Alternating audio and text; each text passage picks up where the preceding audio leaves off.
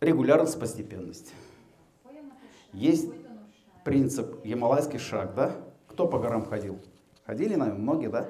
Гималайский шаг знаете, да? То есть один вздох, один вдох, один шаг. На каждый вдох-выдох один шаг. Тогда ты идешь долго. Поэтому 10-15 лет постепенно небольшие деньги откладывать на блокчейне у себя в кошельке. Это очень мудро. Это небольшой бюджет ежегодно. Постепенно, степ-бай-степ. Принцип. И потом цены будут колебаться по-разному. Пусть колеблется. Один раз и дешевле купил, другой раз дороже. А в целом я в тренде.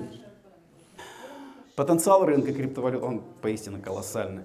Очень хорошо Питер показал, очень хорошо Марат Мизбахович показали. Рынок зачаточный, но динамика, какой спрос они создадут. А всего 21 миллион штук. Осталось где-то 4 миллиона достать, добыть. С каждым днем усложняется добыча. Люди будут добывать, но же большие компании будут добывать? Будут, а как же, это же выгодно. Золото добывать выгодно. Себестоимость добычи растет. Потенциал к рынку, рынка, этим надо воспользоваться сегодня. Как раз 10-15 лет нам хватит с вами. Я верю в 20 видам криптовалют. Я верю в 21 криптовалют. Который зашел первый топ-20, все, я верю. То есть смарт-контракт, верьте и покупать для меня два раза в сутки.